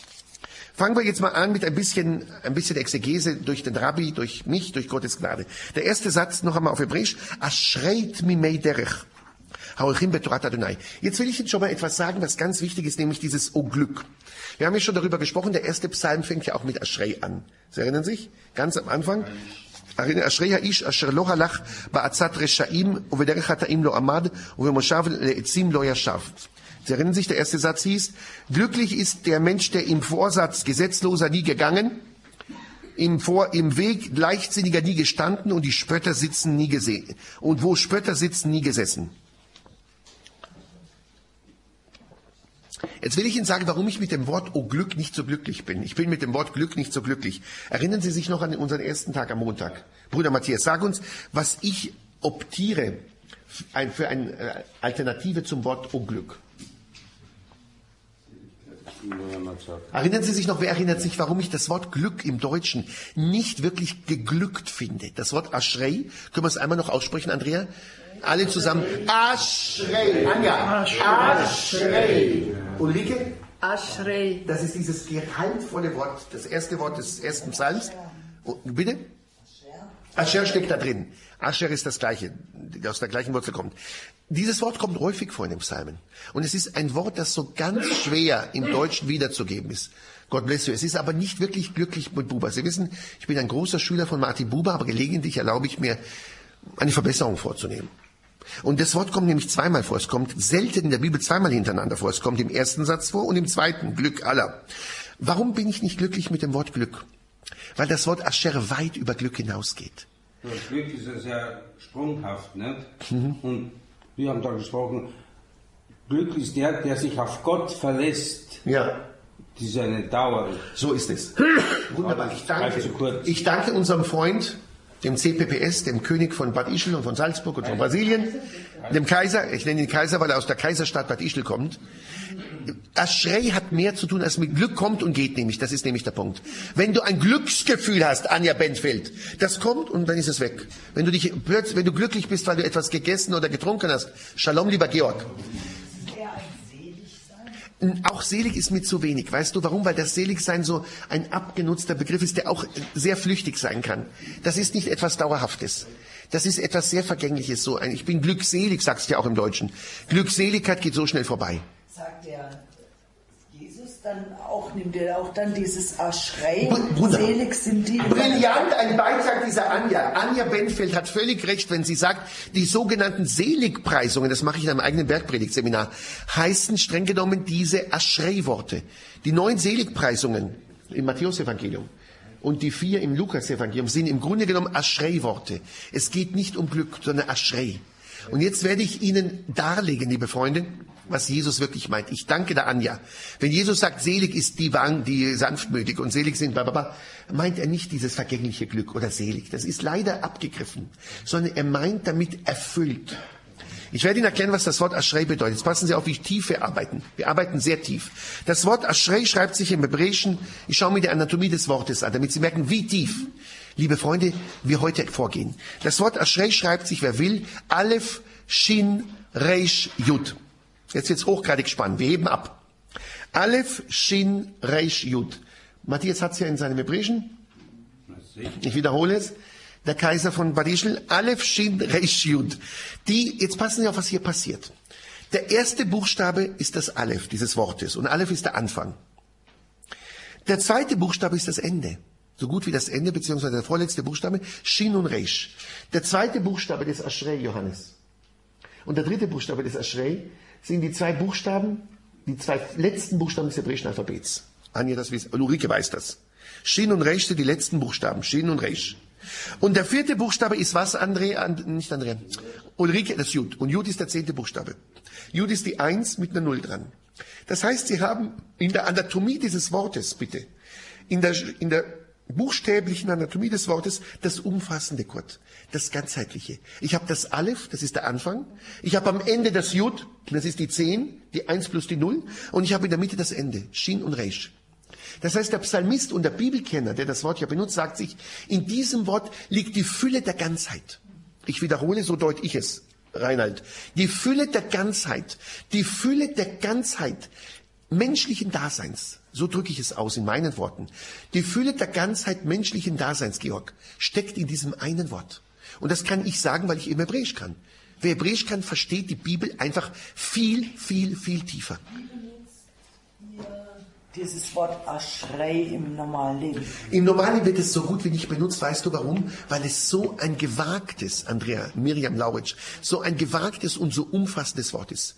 Ich wiederhole, die Teilnehmerin Anja hat eben gefragt, wie benutzt man im moderne Hebräisch, in der Poesie von, von ähm, Dichtern, die in Israel lebten, die Andrea Lauritsch bearbeitet. Das hebräische Wort wird kaum benutzt. Wissen Sie warum? Weil es so ein umfassend erfülltes Sein benutzt. Das kann man nur benutzen, wenn man es wirklich lebt, wenn man eine Ahnung davon hat. Verstehen Sie? Wenn, wenn du das Wort im Alltag benutzt, weiß ich, wenn du ein Eis schlägst oder wenn du einen Spaß hast, dann ist es nicht wirklich zutreffend. Es trifft nicht zu. Und darum benutzt es der Psalmist eben, weil er sagt, wenn ich mit Gott in, in Beziehung stehe, habe ich eben dieses Gefühl. Das ist der Punkt. Übersetzung her mehr, mehr übersetzt mit die Fülle. Genau das wollte ich sagen. Die Fülle der Ganzheit. Ich nenne es ganz gewagt, liebe Freunde. Danke, Anja, Hanna Schifra. Die Fülle der Ganzheit habe ich, beziehungsweise hat derjenige, der schlichten Weges ist, der in Gottes Weisung geht. Das ist nämlich der Punkt. Die Fülle der Ganzheit, eine Ganzheit, die nicht zu überbieten ist. Und der Hebräer konnotiert eben Ganzheit mit Glück. Darum sagt der Buber ja Glück. Wenn ich wirklich ganz bin, wholehearted, oder beherzigt Johannes, der Begnadete. Wenn ich wirklich ganz mit Gott gehe, Anja, wenn ich ungeteilten Herzens bin, wenn ich wirklich in dieses ganz mit Gott gehen und ganz in Gott sein und ganz in Gott pulsieren bin, Markus, dann habe ich eine Ahnung, was wirkliches Glück bedeutet. Es gibt Glück beim Sex, es gibt Glück bei Essen, es gibt Glück beim Shopping. Heute wird uns ja so viel Glück verkauft. Man kann ja Glück heute kaufen, in Anführungszeichen. Aber der Psalmist sagt, das ist gar nichts, wienerisch gesprochen. Mein Vater war Wiener, darum kann ich auch ein paar Wiener deftige Ausdrücke. Das ist gar nichts. Verglichen mit dem wahren Glück, lieber Peter aus wunderbaren München, verglichen mit dieser wahren Fülle der Ganzheit, die ich habe, wenn ich spüre, dass Gott mit mir geht und in mir wohnt, ist alles andere nichts. Und darum wird dieses hebräische Wort nur sehr sparsam, Anja, sehr sparsam, sowohl in der Bibel bitte, als auch in einem als auch im moderne Hebräisch benutzt, weil es eben so etwas ist, was du erst durch einen langen Prozess in deinem Leben dir beherzigen kannst. Ich wiederhole, Wally, dieses Wort und die, die, die Kraft, die dahinter steckt, kommt nicht, wenn ich heute Mittag ein wunderbares Essen in Österreich esse. So wunderbar die Küche hier ist im, im Salzburger Kolleg. Die Küche ist hervorragend und die österreichische Küche ist ja eher ein Traum. Aber es ist etwas anderes, wenn ich dieses unermessliche Glück dieses alle Grenzen sprengende Glück, die Fülle der göttlichen Nähe erlebe. Wenn ich die Fülle, nennen wir es mal so, die Fülle der göttlichen Nähe hier auf Erden erlebe, Hildegard, dann habe ich eine Ahnung, was Aschrei ist. Da ist alles drin, Aleph, Shin, Reish, Yud. Da ist einfach alles drin, da fehlt nichts. Und vor allen Dingen, es hört nicht auf. Es hört nicht auf. Wenn ich meinen Weg mit Gott gehe, darum sagt er ja, es, o Glück derer oder eben o Aschrei derer, die schlichten Weges sind. Dieses schlicht ist auch etwas ganz Wichtiges im Hebräischen. Schlicht heißt so viel, Buber Hirsch übersetzt das anders, die ganz sind, die sittlich und ethisch ganz sind. Wenn Sie dieses Wort gerade aufschreiben wollen, dieses schlichten Weges kann man auch noch ein bisschen besser übersetzen. Es bedeutet die wirklich ganz in ihrem Weg sind, deren Weg mit Gott ganz vollkommen, sie kommen in eine Vollsein, das keine Risse zulässt. Das meint der Psalmist. Wenn ich meinen Weg gehe mit Gott, unser Thema der ganzen Woche, wenn ich Weggemeinschaft mit Gott pflege, El Camino, wenn ich den Camino gehe, nicht nur in Santiago de Compostela, sondern meinen Weg mit Gott gehe, und diesen Weg wirklich geradlinig gehe, dann spüre ich etwas, was mein Herz so erfüllt, dem Herzen eine Fülle gibt. Da ist so viel Blut, anatomisch gesprochen, im Herzen, dass ich merke, ich brauche nichts mehr. Ich brauche nichts mehr. Alles andere fällt ins Bedeutungslose. Und darum sagt er ja, wenn ich in seiner Weisung, jetzt will ich Ihnen auch was Schönes sagen, er sagt ja dann, die in seiner Weisung gehen. Achten Sie darauf, hier steht im Hebräischen wirklich, Holchim betorat Adonai, in seiner Weisung gehen. Es geht darum, ich gehe in der Weisung, nicht gemäß der Weisung. Achten Sie darauf. Man kann sich natürlich fragen, wie kann ich in einer Weisung gehen? Wie geht das bitte schön? Der Hebräer sagt, es geht. Ich kann im Wort Gottes gehen, nicht gemäß dem Wort Gottes. Im Deutschen haben wir solche Verrenkungen wie, bitte richte dich nach dem Wort Gottes. Oder bitte halte dich an das Wort Gottes, bitte. Im Deutschen verkrampfen wir uns, im Englischen genauso. According to. Der Hebräer hat da überhaupt kein Thema. Das ist überhaupt kein Problem. Der Hebräer sagt, Holchim betorat Adonai. Das hört sich für euch Okzidentale, für die Österreicher, für die Westler so schwierig an. Für mich, den Juden, der ich im Orient aufgewachsen bin und der ich die hebräische Sprache neben der deutschen und der englischen Muttersprachlich kenne, ist das ganz normal. Ich gehe in deinem Wort. Dein Wort ist in mir und ich bin in, in deinem Wort. Und wenn ich in Gottes Wort bin und in seiner Torah, und Torah heißt ja Weisung. Das übersetzt Buber wunderschön. Es ist nicht Gesetz. Gesetze sind, gibt es auch, aber hier sind es die Weisungen. Und wenn ich in deinem Wort bin, wenn ich mir vorstelle, stellt euch mal vor, das Wort Gottes ist ein Raum. Und ich betrete diesen Wortraum. Ich betrete den Wortraum Gottes. Bitte, ich bin so erfüllt, Johannes, vom Wort Gottes. Ich bin eingewortet, mein Wortspiel. Johannes, ich bin eingewortet, mein Wortspiel. Und wenn ich so eingehüllt, eingewortet bin, bitte, was brauche ich dann mehr? Was brauche ich mehr, sagt der Psalmist, wenn ich eingewortet bin in deiner Weisung? Und deine Weisung besteht ja aus der Fülle von Worten. Und wenn ich eingeweist bin, eingeweist, eingewortet, einge, eingehalten in deinem Wort, dann habe ich gespürt, was Glück, was Fülle, was innerer Reichtum wirklich bedeutet. Anja. Das ist ja das, woran Paulus gelitten hat. Wenn er mit dem Gesetz ringt. Weil er genau das gesucht hat, dieses In, dieses Hereinkommen in. Und dieses, was er dann mit seiner Vision in, in gefunden hat, so wo er das Gefühl hatte, jetzt gehe ich in seinen Weg. Ja, und ja. das in dieser Befolgung der Vorschriften sozusagen nicht gefunden hat, weil sein Herz sein, sein, sein Gefühl nicht mitgemacht Und hat. jetzt will ich Ihnen noch, Dankeschön, Anja aus, aus, aus, aus der Pfalz. Ich will Ihnen noch was Schönes sagen. Wir haben noch eine Viertelstunde vor unserem wunderbaren österreichischen Kaffee und vor meinen geliebten Mannerwaffeln übrigens. Die Manner können auch auf meine Liste. Ich muss das noch erwähnen. Ich liebe Sachertorte, ich liebe Mozartkugeln und ich liebe noch eine weitere, weitere Süßspeise bei euch, die wir Deutschen nicht haben, nämlich das Manna. Mein Freund sagt immer, das ist österreichisches Manna. Mit A, das Manna.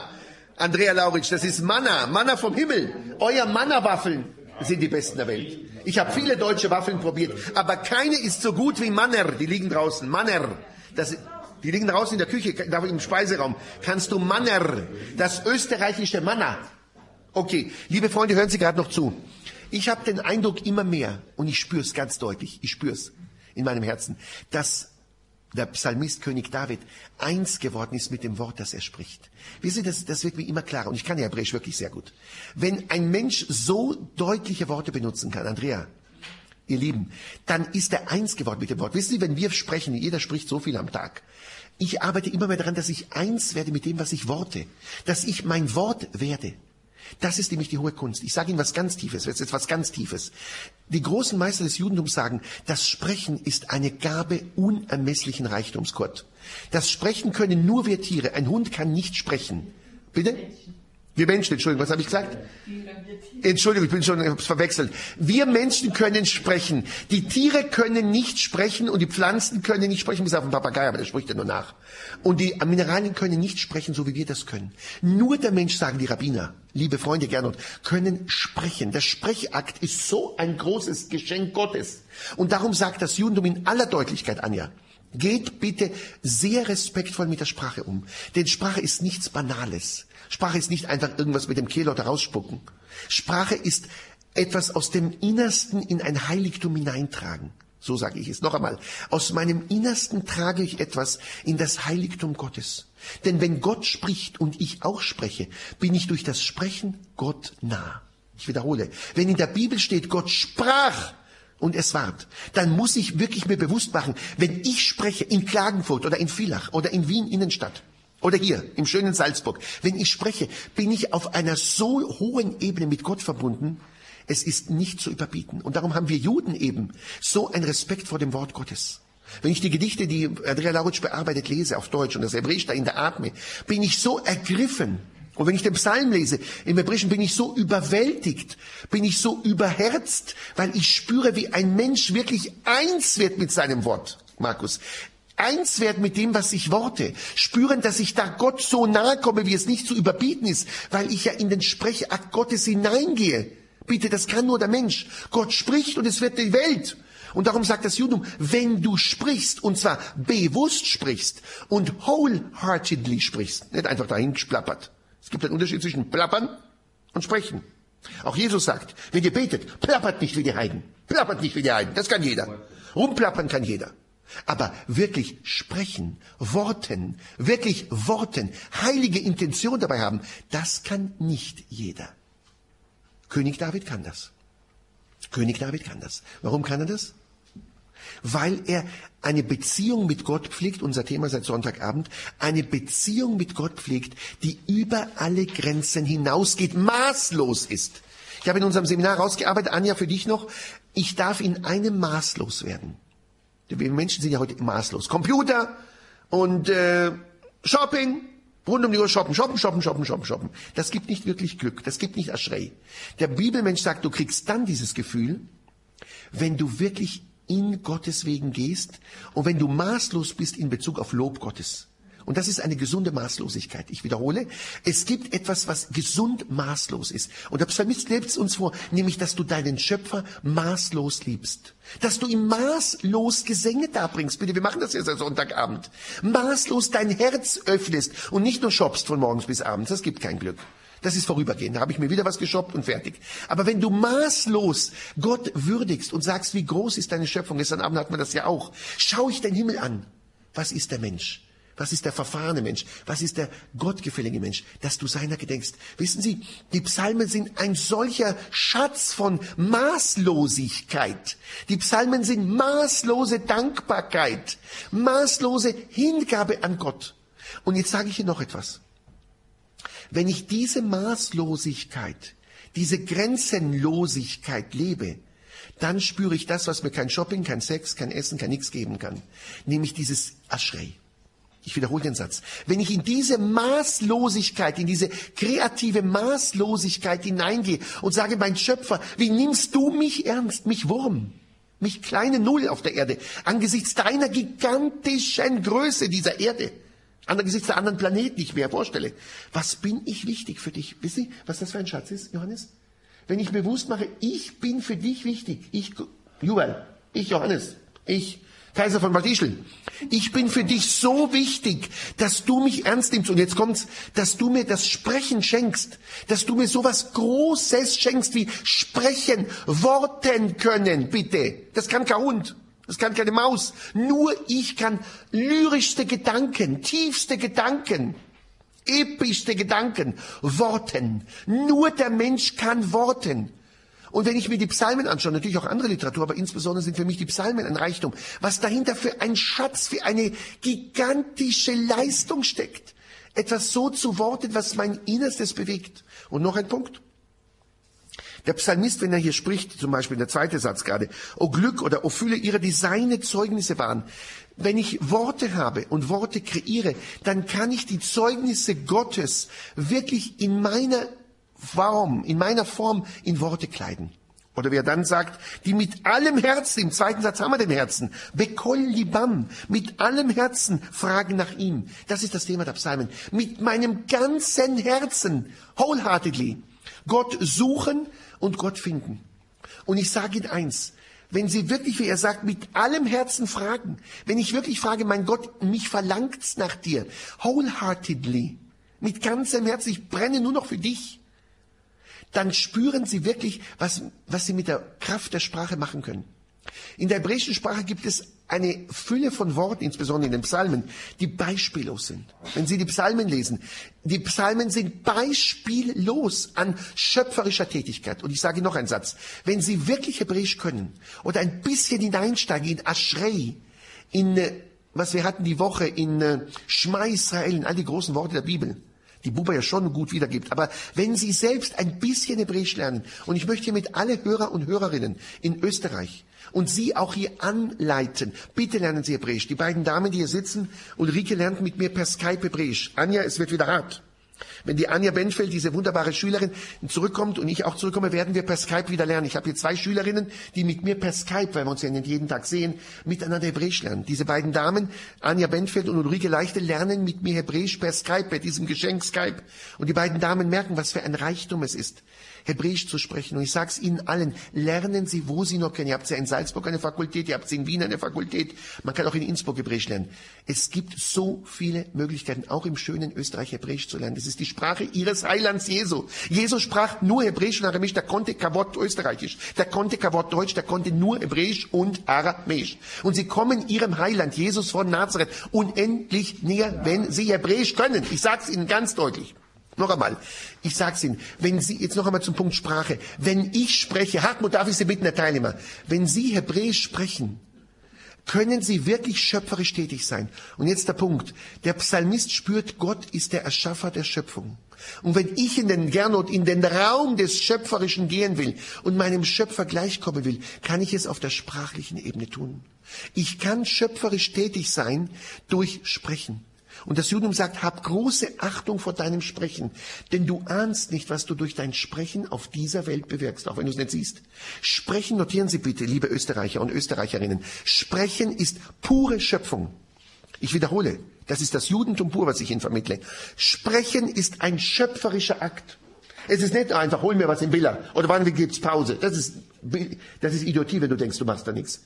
Das Judentum sagt, in jedem Sprechen, auch das Banalste, bewirkst du in den spirituellen Welten, die diese Welt zusammenhalten, gigantische Konsequenzen. Und selbst wenn du sagst, hol mir im Biller ein Pfund Kaffee, dahinter steckt schöpferische Macht. Sprechen ist pure Schöpfung. Und darum sagen wir Juden, geh achtsam mit dieser Qualität um. Denn du kannst einen Mensch, du kannst Welten aufbauen, wenn du bewusst mit Intention sprichst. Und der Psalmist ringt darum, dich zu preisen. Ich preise dich, ich erhöhe dich. Ich liebe dich, ich gehe in deinem Weg. Was meinen Sie, sagen die Rabbiner, was Sie auf den spirituellen Wellen, die in unseren Augen sich entziehen, bewirken, wenn Sie wirklich bewusst, achtsam und schöpferisch sprechen? Sie ahnen gar nicht. Sie ahnen vielleicht ein bisschen durch unser Seminar, was da passiert. Und seitdem ich das weiß, und ich weiß das schon lange als Jude, gehe ich mit meiner Sprache sehr gewählt um. Manchmal rutscht mir auch ein, ein äh, Four-Letter-Word aus, kann ich auch manchmal derb werden. Aber dann versuche ich es sofort zu bereinigen. Dann bereinige ich es, ein Ausrutscher. Aber schöpferisch ist für mich so gewaltig geworden. Was Sprache für ein Geschenk ist und was du mit Sprache bewirken kannst. In, in, in, in, in Sprüche 1822, Sprüche 1822 gibt es einen berühmten Satz, der heißt, Mavet vechayim bilshon ha'adam. Mavet vechayim bilshon ha'adam. Leben und Tod sind in der Macht der Zunge. Leben und Tod sind in der Macht der Zunge. Du kannst mit einem Wort jemanden erniedrigen. Die Nazis haben uns Juden, längst bevor sie uns die Gaskammer stecken, erniedrigt. Du Dreckjude. Vergasungsjude. Die Juden sind unser Unglück. Damit hat man uns Juden, uns Juden schon längst vernichtet. Rufmord sagt man ja, ein Rufmord längst vernichtet, bevor man uns in die Gaskammer gesteckt hat. Sie können aber mit einem Wort einen Menschen eine neue Perspektive schenken. Wenn Sie ihm sagen, Gernot, du bist ein wunderbarer Mensch und ich segne dich im Namen unseres Gottes, bitte. Segnen, er läuft ja auch über den Mund. Gesegnet sollen sein alle Völker der Erde, Genesis 12.3. Sie können mit einem richtigen Wort und mit den richtigen Segnungen einen Menschen neu gestalten, der im Dreck lag. Worte können töten, Worte können heilen. Du kannst mit deiner Zunge wenn sie unkontrolliert ist, einen Menschen vernichten, ihm jedwede Würde nehmen, ihn in den Dreck ziehen, ihn erniedrigen und Rufmord begehen. Du kannst mit dem gleichen Organ Zunge einen Menschen aufbauen, der kein Selbstwertgefühl hat, der keine Beziehung zu Gott hat, der nicht mehr weiß, wo es langgehen soll, mit ein paar gescheiten Worten, mit ein paar göttlichen Worten aus der Heiligen Schrift kannst du einen Menschen neu kreieren. Das alles können wir Menschen. Nur wir Menschen können das. Und noch dazu wir gläubige Menschen, die wir hier sind. Wir Christen, wir Juden. Wenn wir mit dem Wort Gottes wirklich bewusst sprechend umgehen, schöpferisch tätig, so wie Gott die Welt erschaffen hat mit den Worten, dann können wir diese Welt verändern. Und es fängt an mit dem Wort. Am Anfang war das Wort, sagt Johannes Evangelium. Und das ist ein jüdischer Gedanke. Im Anfang war das Wort. En Arche, en Hologos. Und Logos ist das Wort Gottes. Das nimmt er aus dem Genesis. Gott hat am Anfang die Welt mit Worten geschaffen. Gott spricht und es wird. Gott hätte sich das Sprechen ersparen können. Gott muss ja nur schnipsen und es passiert. Aber Gott will uns zeigen, indem er spricht, wie auch immer wir uns das Sprechen Gottes vorstellen können. Wenn Gott spricht, entstehen Welten. Am zweiten Tag, am ersten Tag, im zweiten Satz heißt es, Vayomer Elohim Yehior, Yehior. Gott spricht, es werde Licht, es kommt Licht und es passiert. Ohne, ohne die geringsten Probleme. Gott spricht und die Dinge entstehen, sie stehen. Und darum sagt das Judentum, gehe mit deinen Worten sehr, sehr reflektierend um. Denn du ahnst nicht, was du anrichten kannst in der Doppeldeutigkeit dieses Wortes, Ulrike. Du ahnst nicht, was du anrichten verrichten, ausrichten kannst mit deinen Worten. Du ahnst es nicht.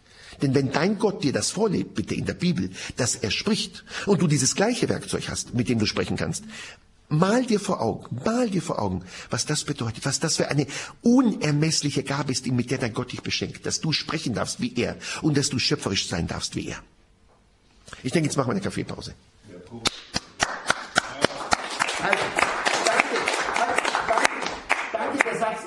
Ja. Jakobusbrief. Was sagt Zunge? Schwer Zunge. Liebe Hörerinnen und Hörer, wir machen jetzt eine Pause. Um 11 Uhr geht es wieder weiter hier im Kolleg St. Joseph mit dem zweiten Teil des Vortrages vom Psalm 119. Bleiben Sie dran. Bis dahin gebe ich zurück ins Studio nach Wien.